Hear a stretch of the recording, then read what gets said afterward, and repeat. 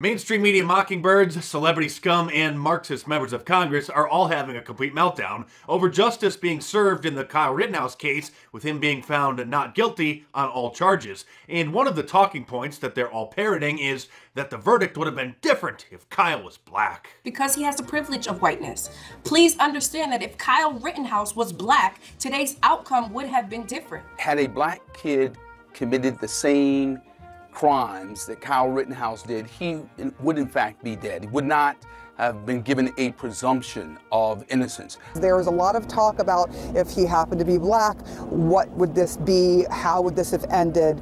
And I want to po- pose the question of what is that result if it is a black person, a black youth with an illegal gun that comes to a rally, a protest, say, and then they feel scared and it ends up in a shooting, would we have these same results? Well, we know the answer to that. Remember Timothy Simpkins from Arlington, Virginia? He's that teen who brought a gun to school and then after he got into a fight, pulled it out and then shot the kid he was fighting with and accidentally shot the teacher and another student.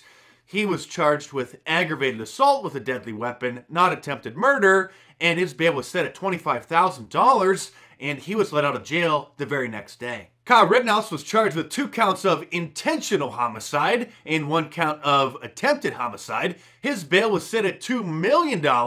Then GoFundMe, the most popular crowdsourcing website, banned him from fundraising for his defense. If anybody posted the videos on Facebook showing that he acted in self defense, or even just simply said he acted in self defense, those posts were taken down and those accounts were issued strikes, myself included. Countless liberal pundits on cable news, Democrat members of Congress, celebrities, even the President of the United States all slandered Kyle as a white supremacist mass murderer and continue to do so. And remember how the social media mob ran to Timothy Simpkins' defense, saying that he was being bullied in school, he was being beat up, and he had to pull out his gun and start shooting. Well, here's the police chief explaining what really happened.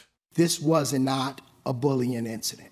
And I just want to take that narrative out of the equation. Two weeks after a Timberview High School student shot 15 year old Zacchaeus Selby and teacher Calvin Pettit and grazed a teenage girl, Arlington Police Chief Al Jones gave an update on the investigation. Mr. Simpkin is involved in high risk activity, and uh, that high risk activity led to the disagreement within the community. What a surprise! It sounds to me like he was selling bunk ecstasy, or maybe putting too much baking soda in the coke that he was selling, and one of his customers, he wasn't too happy about that, and beat him up, so little Timothy decided to pull out his gun and started shooting him. Oh, but that's nothing. Career criminal Andrew Coffey IV was also acquitted on Friday of murder and attempted murder charges after him and his father's home, a known drug home, was raided by a SWAT team serving a search warrant when he opened fire on the deputies. A deputy was injured, his girlfriend was killed in the crossfire, and his father took the fall for the drugs,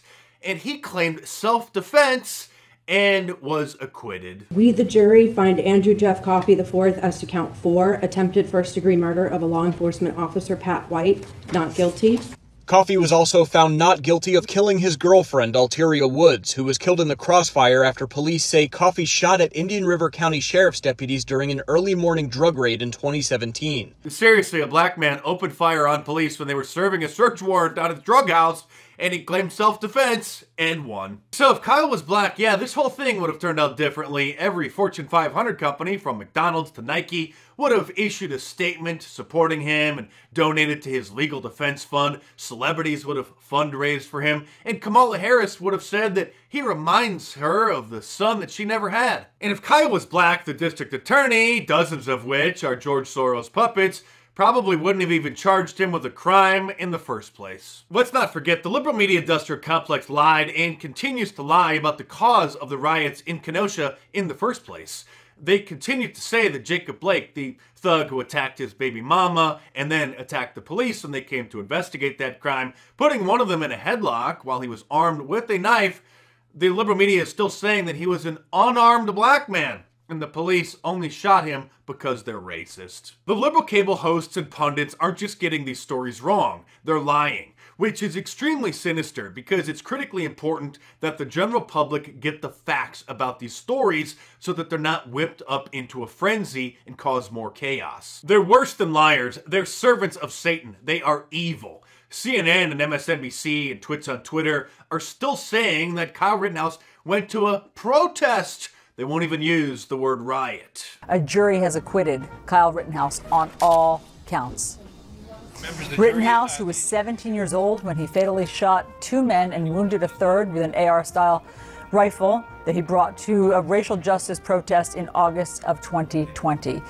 And today we are being asked to say that it is legal and to respect the rule of law because a white boy deputized himself and went out and terrorized people who were actually, you know, using their constitutional right to protest. The thing that concerns me is not just the violence, not just what this mm-hmm. says about democracy, but now you've got members of Congress, Republican members of Congress, doing whole tweet threads offering this kid everything from internships to an opportunity to hang out with them at the house. You literally have members of Congress who are now saying, forget an application, forget being a candy striper, who cares about your grades? Go out and kill people in the name of white supremacy.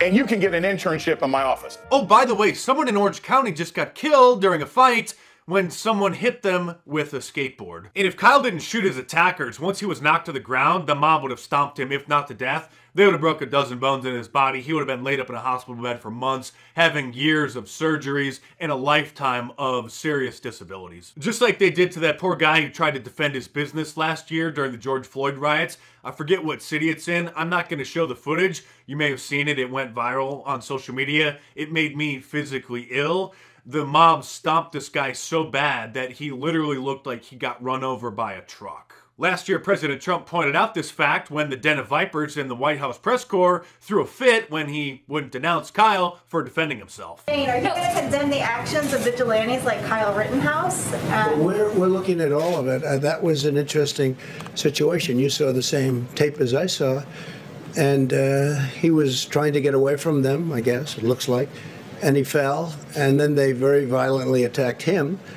And it was something that we're looking at right now, and it's under investigation. But uh, I, guess he was in very big trouble. He would have been, I, he probably would have been killed. Contrast that with our current supposed president who smeared Kyle as a white supremacist with this tweet, which I'm sure will be entered into evidence as one of his many defamation lawsuits. Another reason we all say F Joe Biden and why F Joe Biden chants keep spontaneously popping up across the country. Something else that just popped up is my new F Joe Biden shirt, which you should order from my online store at markdice.com or click the link in the description below. Yes, this is a Mark Dice original. It's a Wheel of Fortune parody. Would you like to buy a vowel? I'm sure you do. Like all of my designs, it's available in a t-shirt, long sleeve, and a hoodie, and a whole bunch of different colors as well. So head on over to markdice.com or click the link in the description below and check it out.